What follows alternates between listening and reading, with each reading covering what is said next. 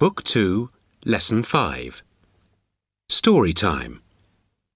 Chessington College Newsletter.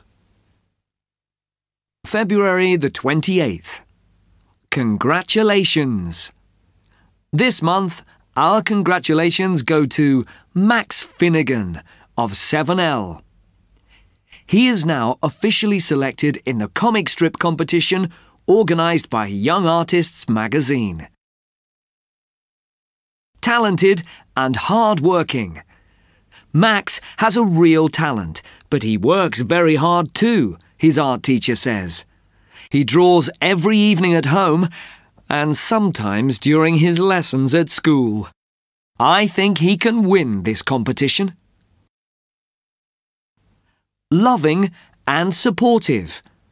Max lives with his family in Springfield Road, Kingston. His mother Debbie is an engineer, and his father Tom is a tennis instructor. His little sister Laurie always reads his comic strips first. I adore my brother and I love his drawings, she says.